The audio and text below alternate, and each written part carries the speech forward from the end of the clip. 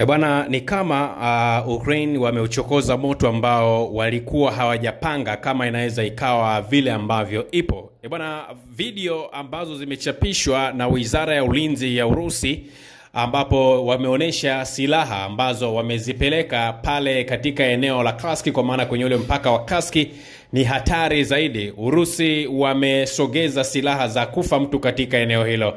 Iko hivi, mnakumbuka niliwaambia kwamba kule katika eneo la Kursk ambapo Ukraine walifanya mashambulizi, ninadhani watajutia kile ambacho walikifanya. Sasa muhutasari wa kile ambacho kinaendelea ni kwamba Wizara ya Ulinzi ya Urusi imetangaza kwamba imepeleka vikosi pamoja na vifaa vya ziada, silaha ikiwemo mifumo ya rocket ya BM-22 Grad, mizinga pamoja na magari mengine ya kivita katika mkoa wa Kharkiv. Hatua hii imekuja kufuatia uvamizi wa wanajeshi wa Ukraine katika wilaya ya Zuziaskai ambapo wanajeshi wapatao elfu moja na zaidi wa Ukraine wanadaiwa kwamba wamefariki dunia na magari mengine ya kivita ambayo yametolewa na nchi za kimagharibi yameharibiwa mara baada ya wao kuvamia eneo hilo.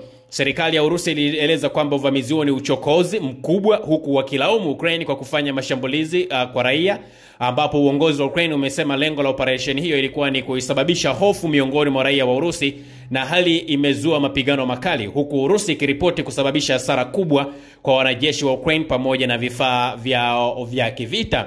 Sasa unapoizungumzia mifumo ya rocket ya BM-21 Grad ni aina ya mifumo ya rocket za Urusi ambayo inatumika kufanya mashambulizi, yani inatoa rocket nyingi kwa wakati mmoja.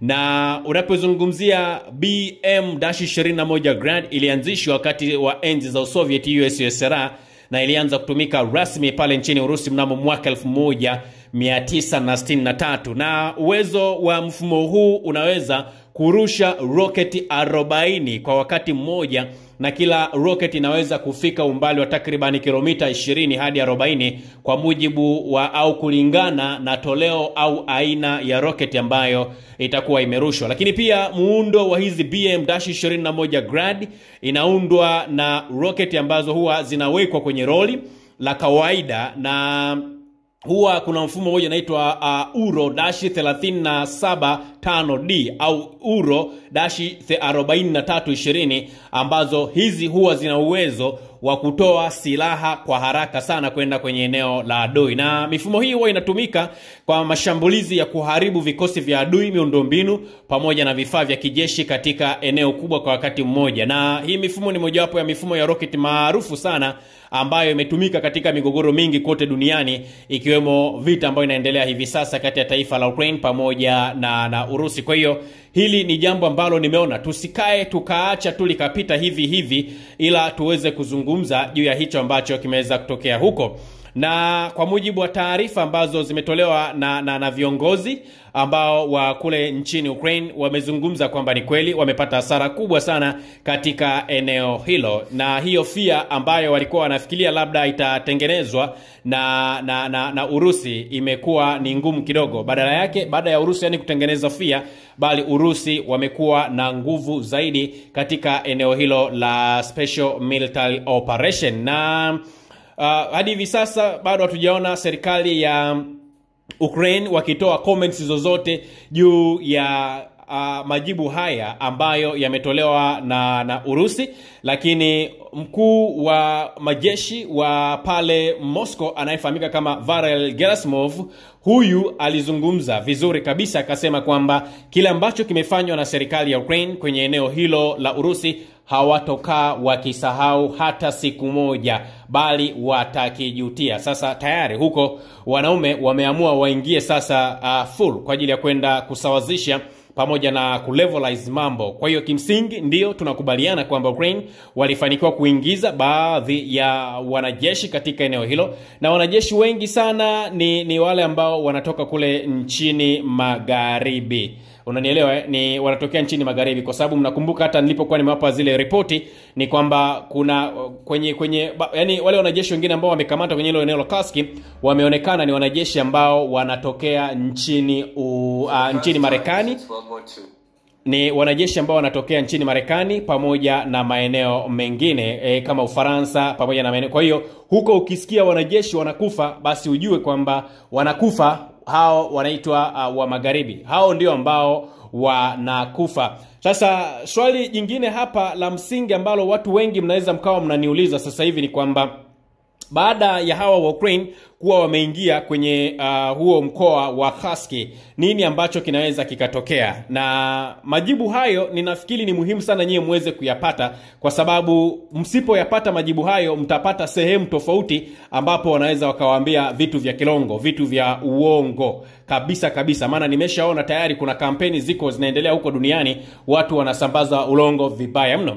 Sasa uh, uvamizi wa Ukraine katika mkoa wa pale kraski kwa, kwa mtazamo wangu ni tukio ambalo linaweza kuongeza mvutano katika mgogoro ambao unaendelea kati ya hizi nchi mbili. Na kwa nini nasema hivyo? Ni kwa sababu kwanza Urusi watalazimika kufanya mashambulizi ya kujibu, na Urusi tayari imeanza kujibu mashambulizi uh, makali ya kijeshi kama ambavyo tumeona wamepeleka hivyo vikosi pamoja na silaha za ziada katika huo mkoa. Lengo ni kuondoa wanajeshi wa Ukraine pamoja na kuimarisha usalama katika eneo hilo la mpakani. Lakini jambo la pili ambalo ninaliona ni kwamba hii inaweza ikapelekea ika, ika, ika kuongezeka kwa mapigano, maana tukio hili e, linasababisha kuongezeka kwa mapigano. Ikiwa Ukraine wataendelea na uvamizi uh, au Urusi italiona hili kama sehemu ya mpango mkubwa wa Ukraine, basi Ukraine pamoja na Urusi wanaweza sasa wakaongeza juhudi za mapambano ya kijeshi. Na ifahamike, hadi tunapozungumza sasa hivi ni kwamba Ukraine hawana wapiganaji, kwa maana wapiganaji wote wameshakufa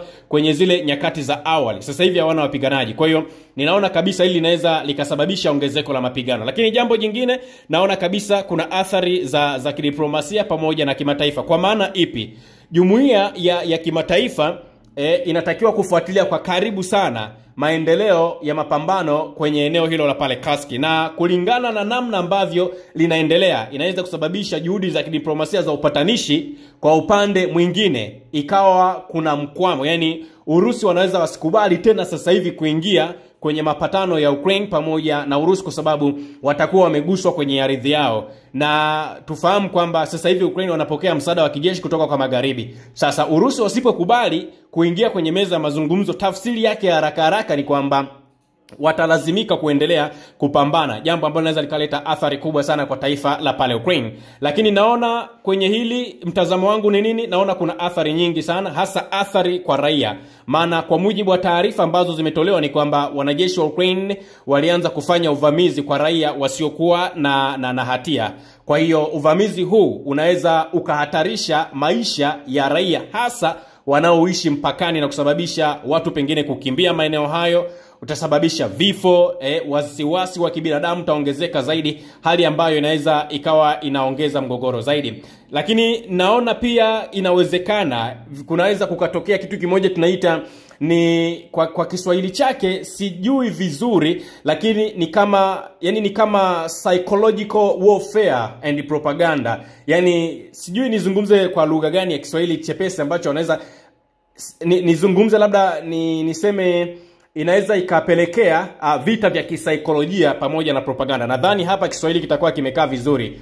E, Urusi pamoja na Ukraine huenda zikatumia tukio hili katika kampeni zao ambazo wanataka kuji, ku, ku, kujiondoa. Yaani mmoja inawezekana kawa anataka kujiondoa kwenye kwenye haya mapigano, maana tumeona lengo la Ukraine, wamesema wao wanataka kuleta hofu kwa, kwa kwa Urusi au kwa raia wa pale Urusi, na wakileta hofu kwa raia wa Urusi, raia wa Urusi wataanza kuandamana wakiitaka serikali yake iache kuendelea kuipiga Ukraine, jambo ambalo linaweza lisiwezekane sana. Kwa hiyo ndio maana ninazungumza, ninasema maybe hii inaweza ikawa ni, ni, ni, ni akili mnemba ambayo imetumiwa na Ukraine kwa ajili ya, ya, ya kujaribu kutafuta huruma kwa sababu tunafahamu Urusi hawawezi wakakubali kushambuliwa na Ukraine na hasa wanashambuliwa katika ardhi yao ya pale Ukraine. Lakini jambo jingine ambalo ninaliona uh, linaweza likaleta lika shida kidogo, yale mazungumzo ya amani pamoja au usitishaji wa mapigano inaweza sasa ikasababisha pande zote sasa zirudi kwenye meza ya mazungumzo ya amani ili kuhuisha ile misimamo yao, maana Urusi tunafahamu na misimamo yao, Ukraine tunafahamu na misimamo yao. Kama itachukua muda mrefu sana kwenye lile eneo la Kursk, maana yake ni nini? Maana yake ni kwamba Urusi watalazimika kutumia nguvu sana kuwaondoa wanajeshi hawa wote, na wakishamaliza kuwaondoa watalazimika kulipiza kisasi, na kwenye ulipizaji kisasi kuna mambo mawili. Aidha waende wakalipize kisasi kwenye city center ya Ukraine, kwa sababu tunafahamu tayari Urusi walishaizunguka ile Ukraine kwa asilimia kubwa. Tunaona walienda kule Kharkiv, tunaona uh, kule Mykolaiv, tunaona kule mitaa ya Zaporozhia, tunaona Donbas, tunaona yani asilimia kubwa ni kama ile Kiev Oblast yenyewe yote tayari imekwisha kuzungukwa. Kwa hiyo hili linaweza likawa ni moja kati ya taarifa mbaya sana kwa kwa wanazi wa magharibi pamoja na vitu vingine. Jukumu langu liko pale pale, naendelea kuzitafuta hizi taarifa, na kwa sasa hivi nafikiri tutaongeza zaidi nguvu ya kuzitafuta hizi taarifa ili msikae kinyonge, yaani mwe mnapokea taarifa kadri ambavyo tunazipokea na kadri ambavyo zinaendelea katika maeneo mbalimbali duniani. Usisahau kusubscribe, like na kubonyeza alama ya kengele. Asante.